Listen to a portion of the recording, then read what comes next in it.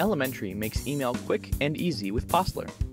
If it's the first time you've opened Postler, it'll help you set up your account. If you don't have an email address, click the link to set one up with Gmail. Otherwise, fill in your name, email address, and email password, and Postler will do the rest. You can also add an organization name and a signature. To change advanced settings, click Advanced, then make your changes. When you've entered your information, click the Continue button.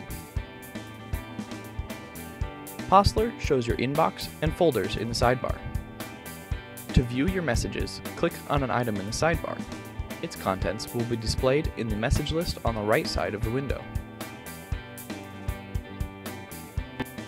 To view a message, just click on it, or to open it in a new window, double-click on it. You can reply to a message, or forward it to someone else, by clicking the icons in the toolbar. You can also click the icons to archive a message, to mark it as junk, or to delete it.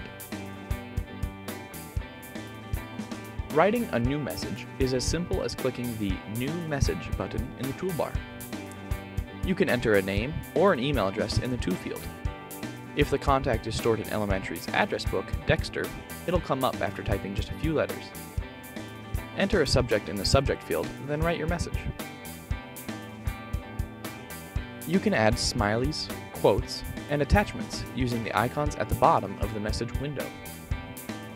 If you'd like to save a draft and come back to it later, just click the Save button and it'll be stored in the Drafts folder. When you're all done, click Send. With Postler, Elementary has reworked email and made it fast, easy, and seamless.